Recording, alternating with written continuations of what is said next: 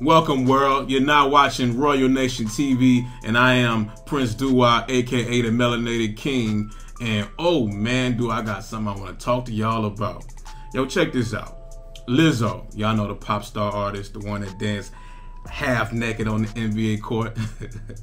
man, I was checking out something on um, today's news, and Lizzo speaks out after people criticized her for doing a 10 day smoothie detox.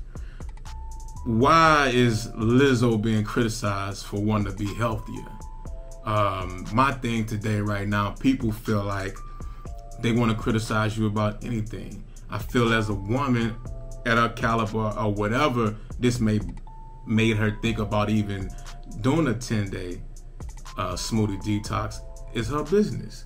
If she wants to better her health, if she wants to, for whatever reason it may be, let her do it. Uh, don't fat shame her. Don't talk down on her. Don't any of that.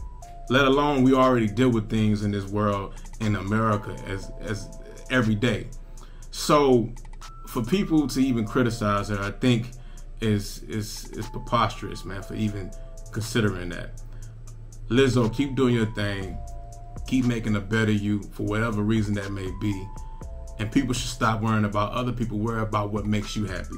Worry about what matters to you. And if health matters to you, worry about your health.